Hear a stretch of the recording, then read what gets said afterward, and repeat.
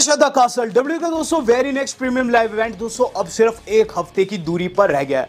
इससे पहले मैं क्लैश ऑफ़ द कासल के बारे में आपको बताऊँ। एक्सक्लूसिव अपडेट निकल कर सामने आ रही, दोस्तों ब्रॉक लेसनर से जुड़ी हुई। ब्रॉक लेसनर को देखा गया है हाल फ़िलहाल में और फ़ोटो वायरल जा रही है। दरअसल दोस्तों, हाल फ़िलहाल में ब्रॉक लेसनर को उनकी बेटी के साथ देखा गया है। दरअसल दोस्तों, उनकी बेटी एनसीडब्ल्यू इवेंट में हिस्सा ले रही थी, जो कि हेवर्ड फ़ील्ड के बाहर हो रहा था दोस्तों। हेवर्ड फ़ील्ड के बाहर दोस्तों लेसनर को देखा गया है, मिया लेसनर के साथ, जिन्होंने दोस्तों शॉर्ट पुट में एक बेहतरीन परफॉर्मेंस दी। हालाँकि दोस्तों, टॉप थ्री में नहीं आ पाई, लेकिन हाँ वो वहाँ फिफ्थ ज़रूर आई है। शॉर्ट पुट, यानी कि दोस्तों गोला फेंकने में दोस्तों मिया लेसनर इससे पहले चैंपियन भी रह चुकी है। और ऐसे में लेसनर जो कि इस वक्त डब्ल्यू से प्रतिबंधित है और डब्ल्यू के अंदर दोस्तों रिटर्न नहीं कर पा रहे हैं। वो दोस्तों उनके साथ देखे गए हैं। ओवरऑल पिक्चर की बात करूँ तो लेसनर दोस्तों इसमें थोड़े से ओल्ड से नज़र आ रहे हैं, थोड़े से दोस्तों आउट ऑफ़ शेप नज़र आ रहे हैं। लेकिन आप जानते हैं लेसनर जब भी लौटेंगे, वो बिल्कुल शेप में रहेंगे, क्योंकि हमने पास्ट में हमेशा से लेसनर को एक बीस्टी शेप में देखा है। और बीस्टी की बात करूँ तो लेसनर दोस्तों हो सकता है जल्द हम लोगों को कंपनी के अंदर देखने को मिले यहाँ उनकी अपियरेंस भी देखने को मिल गई है। और दोस्तों चांसेस भी काफ़ी ज़्यादा बन रहे हैं कि समर स्लैम से पहले वो लौट आएँगे। यहाँ दोस्तों, बात करी जाए क्लैश ऑफ़ द कासल की तो ये अब सिर्फ़ एक हफ़्ते की दूरी पर रह गया है, जो कि 15 जून को हम लोगों को देखने को मिलेगा। इसकी टाइमिंग काफ़ी ज़्यादा यूनिक है। ये दोस्तों, आप लोगों को रात को साढ़े ग्यारह बजे देखने को मिलेगा। जी हाँ शनिवार को, ये रात को साढ़े ग्यारह बजे आएगा पंद्रह जून को। इसके अंदर कुल मिलाकर चार से पाँच मैचेस कंफर्म हुए। जहाँ सबसे पहले मैच की बात की जाए तो सबसे पहला मैच जो हम लोगों को देखने को मिलेगा, वो देखने को मिलेगा गाई बेली का। तो बेली फेस करने वाली है दोस्तों पाइपर निवन को। पाइपर निवन का दोस्तों ये होम टाउन है। तो यहाँ कहीं ना कहीं दोस्तों पाइपर निवन को काफ़ी तगड़ा सपोर्ट इसके अंदर रहेगा। इवन दोस्तों उनके प्रोमोस की बात करूँ तो काफ़ी सॉलिड थे। कल स्मैडाउन में दोस्तों उन्होंने ये चीज़ कही थी बेली को कि बेली, बेटा, तुमने तो अभी भी स्टार्ट किया है। हम 2008 2009 से फाइट देते आ रहे हैं और ऑल ओवर दी वर्ल्ड हमने फाइट दी है। पाइपर निवन का दोस्तों ये डिसेंट प्रोमो उन्हें क्या जीत दिलवाने के लिए काफ़ी है। चलिए डिस्कस कर लेते हैं। तो यहाँ दोस्तों आर्ट्स मेरे सामने है और यहाँ साफ़ पता चल रहा है दोस्तों, ऐसा नहीं होने वाला है। यहाँ दोस्तों जो महिला सुपरस्टार मैच के अंदर जीतने वाली है, वो है बेली क्योंकि बेली दोस्तों लीड कर रही है माइनस दो हज़ार के साथ पाइपर नेवन चली हुई है। प्लस सात सौ के ऊपर काफ़ी डिसेंट अंतर है।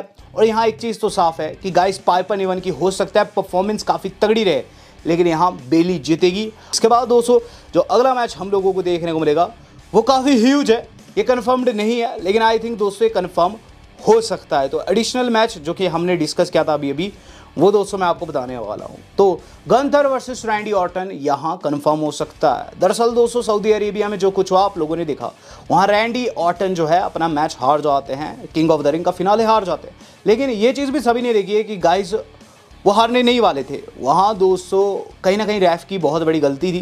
तो ऐसे में दोस्तों, हो सकता है पर्टिकुलर मैचअप दोस्तों आप लोगों को यहाँ रीमैच होते हुए नज़र आए। और ये चीज़ भी हो सकती है कि इस बारी चीज़ें वैसी ना जाए और रैंडी ऑटन दोस्तों आपको ब्रांड न्यू किंग बनते हुए यहाँ नज़र आए। चूँकि दोस्तों गंथर को यहाँ बुक नहीं किया गया और गंथर का कहीं ना कहीं एक बड़ा रिलेशन है दोस्तों स्कॉटलैंड इंग्लैंड इन दोनों कंट्रीज़ से। तो यहाँ दोस्तों आई थिंक ट्रिपल एच दोस्तों हमें सरप्राइज़ दे सकते हैं। पर्टिकुलर मैच हम लोगों को देखने को यहाँ मिल सकता है। बात करी जाए दोस्तों इससे अगले मैच की तो इसके बाद जो अगला मैच हम लोगों को देखने को मिलेगा ना, वो काफ़ी ह्यूज रहने वाला है। ये जो मैच है, ये दोस्तों कल की स्मैडाउन में ही लॉकडअप हुआ है। और इसके अंदर दोस्तों हमें मल्टीपल फीमेल सुपरस्टार्स आपस में भिड़ते हुए नज़र आने वाली है।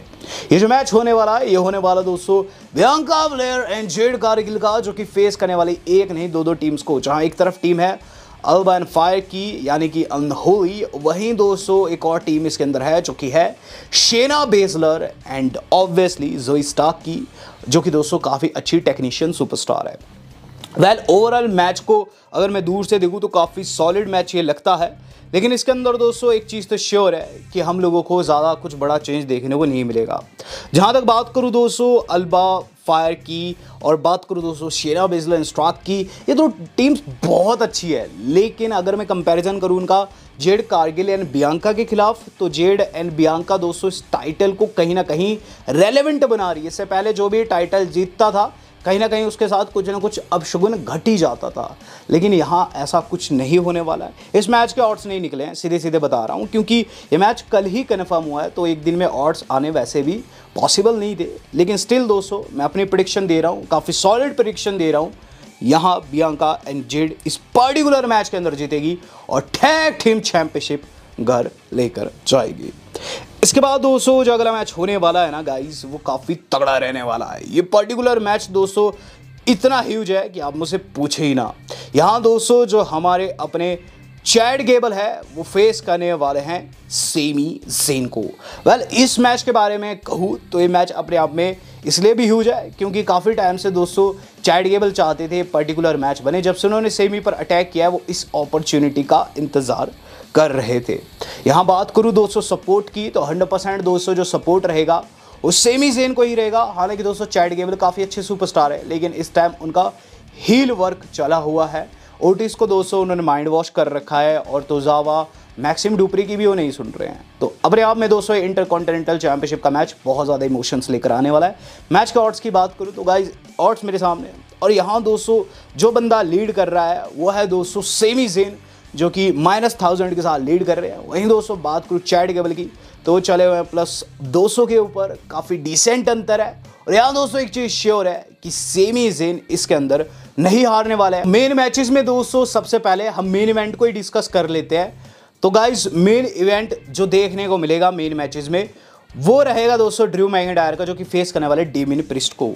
वेल इस मैच की अपने आप में काफ़ी बड़ी भूमिका है। पूरा का पूरा प्रीमियम लाइव एंड दोस्तों, इसी मैच के इर्द गिर्द घूम रहा है। रीज़न बस यही है कि ड्रू मैगेंटायर की सरजमी है स्कॉटलैंड इंग्लैंड भी कह सकते हैं, लेकिन स्कॉटलैंड के निवासी और इनकी जो स्कर्ट रहती है, वो भी स्कॉटलैंड की ही दोस्तों संस्कृति को प्रदर्शित करती है। यहाँ वो फेस करने वाले हैं दोस्तों डेमिन प्रिस्ट को। ऑब्वियसली दोस्तों उन्होंने सस्ता अंडरटेकर उन्हें बताया और तब से लेकर अभी तक हर कोई उन्हें सस्ता अंडरटेकर ही कह रहा है। हालाँकि डेमिन काफ़ी ज़्यादा स्ट्रॉन्ग है और उनकी दोस्तों पावर की इसी बात से पता चलती है कि गाइस उन्होंने अभी तक टाइटल को संजो कर रखा है। इवन दो उनके सामने काफ़ी ज़्यादा रोड़े आए जजमेंट डे दोस्तों, कहीं ना कहीं यहाँ एक रोड़े का काम कर सकता है उनके लिए, क्योंकि आप जानते हैं फिन बैलर के साथ उनकी नहीं बनती है। तो यहाँ मुझे क्या लगता है कि ये चीज़ बहुत बड़ा रोल प्ले कर सकती है। हो सकता है जजमेंट डे वहाँ मदद को आए, लेकिन मदद गलत हो जाए। और दोस्तों ड्रू मैकेंटायर चैंपियनशिप लेकर घर चले जाए। और मेरे सामने है, आपके सामने रखूँगा। ड्रू मैकेंटायर माइनस 140 के ऊपर है। डेमन प्रिस्ट चले हुए प्लस सौ के ऊपर। उतना भी बड़ा अंतर नहीं है। लेकिन चूँकि दोस्तों, यहाँ ड्रू मैकेंटायर लीड कर रहे हैं और ड्रू मैकेंटायर की सर जमी है, और इवन रिपोर्ट्स भी ये सजेस्ट करी है कि आगे जाकर सीएम पंक वर्सेस मैकेंटायर बन सकता है चैंपियनशिप के लिए। यहाँ दोस्तों, मैं मैकेंटायर को पिक करूँगा। मैकेंटायर हम लोगों को brand new world heavyweight champion बनते हुए नज़र आएँगे 15 जून को। बात कर ली जाए दोस्तों, अब उस मैच की, जो कि मेन इवेंट में तो नहीं होने वाला, लेकिन गाइज़ इसके अंदर आपको मेन इवेंट जैसे सरप्राइजेस देखने को मिल सकते हैं। ये जो पर्टिकुलर मैच होने वाला है ना गाइज़ ये काफ़ी बड़ा सरप्राइज़ है हमारे लिए, क्योंकि किसी ने नहीं सोचा था कि ये मैच यहाँ बनेगा।